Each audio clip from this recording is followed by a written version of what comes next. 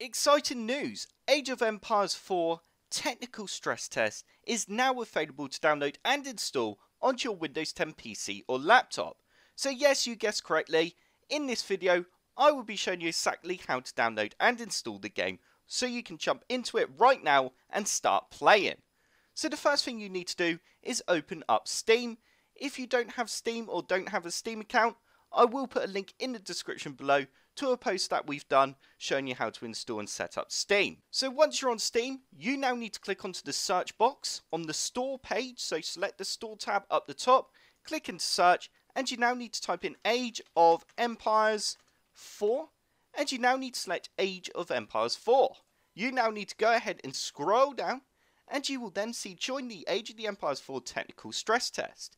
We now need to click on Request Access, and you then need to click on request access again and you then need to press OK to access granted. You will now see the play now button. You need to go ahead and press this button.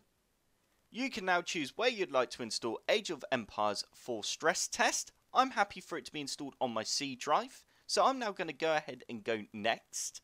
It will now begin to download and install Age of Empires 4. Once it's finished installing, you will then be able to launch the game from your library.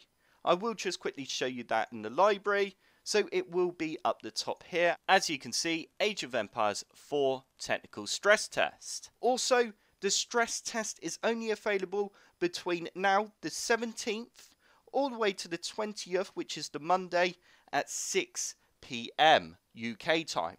So I hope you enjoyed this video and it did help you out. If you did, click the like button below and subscribe for more computer sluggish tutorials.